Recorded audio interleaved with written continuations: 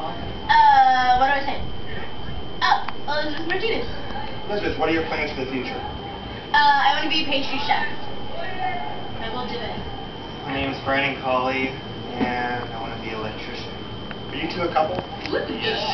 How long have you been dating? A year and a half. Do you remember the very first time you met her? yeah, you got it, Brandon. You know it. Yeah, you. Sometime in sophomore year. What went through your mind? when you- What did you start liking about her at first? No, I'm just kidding. Yeah, I did. Uh, my name's Heather Matthews, and I'm going to St. Mary's for the nursing program. My name is Joshua Carter. I actually used to go to Freedom, but I don't anymore. I'm going to go to DVC. And I'm going to be, when I get older, a professional male under underwear model. oh, gosh. And who's this girl next to you? This is my girlfriend of the I love- last three years, and we're getting married. No, I'm just kidding. Christina Darner, And what are your plans, Christine? uh, to go to DVC, criminal justice, and then be an ASPCA cop. Now, you three girls have known each other since eighth grade, right? Yeah. Yes.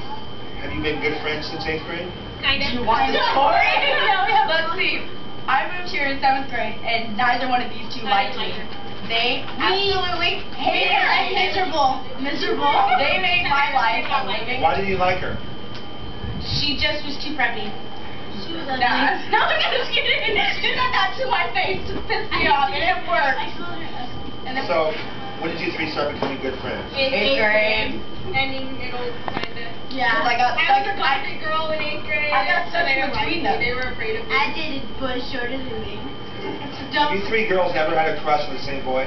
Yes. I so have, much. I have to admit, I have never had a crush on the same boy. Who was that Every boy? time. This one right here. What is it about him that you used to like when you liked him? This is gonna be. I don't know. Let's see. Probably because I stole him from her. oh, oh. But she stole that. She did. Bam!